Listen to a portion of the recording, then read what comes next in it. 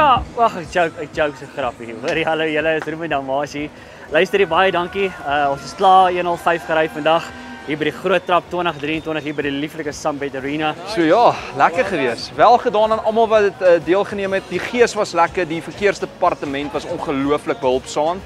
Hulle sê hierdie was die groot trap, maar ek dink dit was die groot trap om my te vang. Hoe ver het jy gery? Dit was baie ver. Hulle sê 17 km, maar ek dink dit was baie verder. Dit was baie lekker. So, ek en Karla het uiteindelik die 17 kg klaar gemaak. Ons het gemaak. Uh, ons is laaste. Alhoewel nee, Jacques is nog nie nie. Ja, Jacques en Doopie se so, ons is nie laaste nie.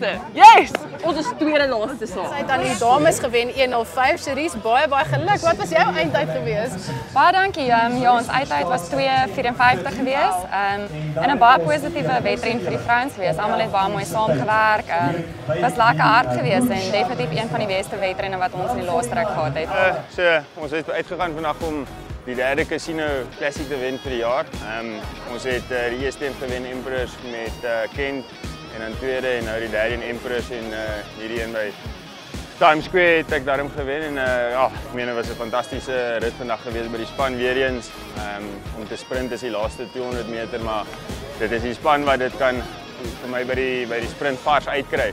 So ja, ek wil net dankie sê aan die my spanmaats en uh, al die kollegas wat vir ons help ons soigneurs wat vir ons bottels aandra en almal wat die die harde werk doen en ons kry die maklike werk. Ons moet daarmee op die fiets sit.